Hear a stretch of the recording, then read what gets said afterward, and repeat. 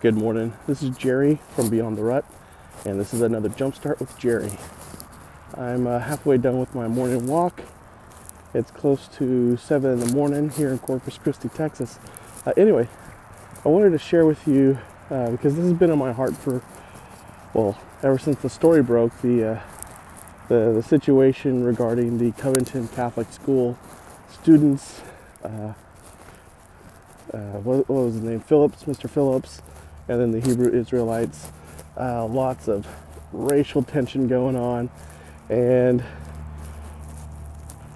I, I finally watched the full video and got a better grasp of what happened. Uh, I think what blows my mind though is the mob mentality on the internet. That is probably what I'm most ashamed of. We have people who claim to be on the side of truth and justice and the American way, calling for the death and the doxing and harm, physical harm to happen to students, teenagers, because of what they perceived uh, from a clip, or even if they've seen the whole video, what they still choose to believe they saw.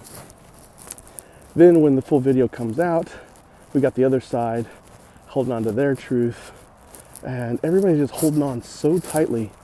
Uh, and, the world needs more people to be brave enough to follow what I learned from uh, the book of James, chapter 1, verse 19, and that's to be quick to listen, slow to speak, and slow to anger.